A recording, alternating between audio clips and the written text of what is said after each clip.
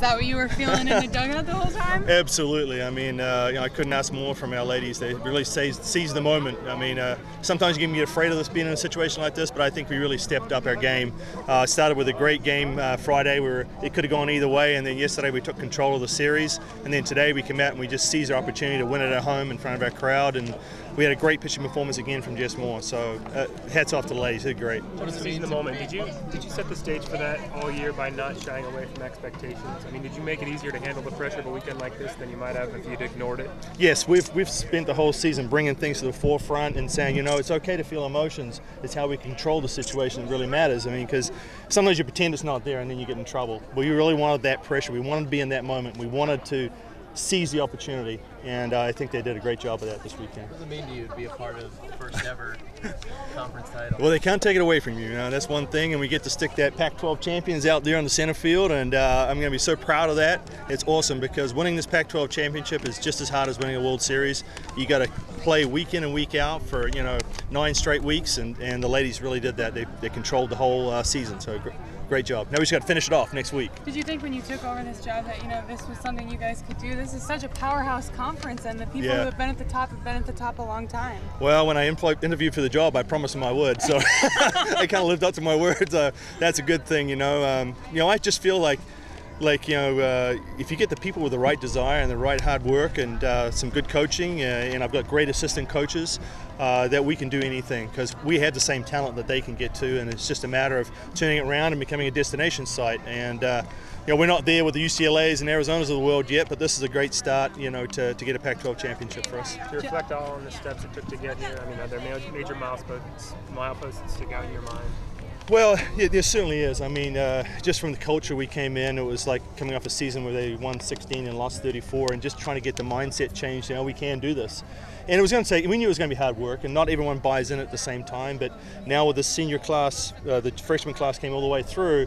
Now that's starting to revolve and starting to turn itself over, and that's what we're really working hard on is basically to coach themselves. And Jess Moore's been a shining example of that. I mean, I couldn't have a better player on my staff, on my team, that can teach the underclassmen how to play this game. She has been such a huge part of this turnaround and has really epitomized what you guys have become.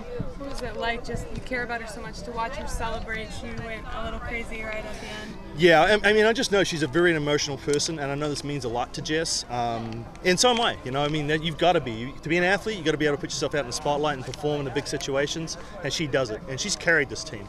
Uh, last year more so than ever because we just had two pitchers last year. This year was a little easier, of course, with Cheridan Hawkins out there, and that may be the big thing that changed us around for us was having that extra arm, that extra pitcher, giving Jess a little more rest, a little more confidence. She didn't have to do it all herself, and uh, you know, so I think it's really a team performance, including Janelle Lindvall coming in and doing a great job behind the plate as well. You ran when they right, came after you with the Gatorade. You're not supposed to do that. No, but I didn't want to get cold. I remember last year in Texas, it was pretty cold, so but they got me pretty good. They weren't going to let me get away, so I had to stop sooner or later. yeah. The water?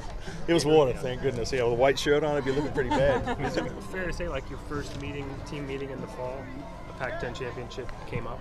Yes, Pac 212 uh, Pac-12 championship and uh, a World Series championship. Um, you know, I think that you know.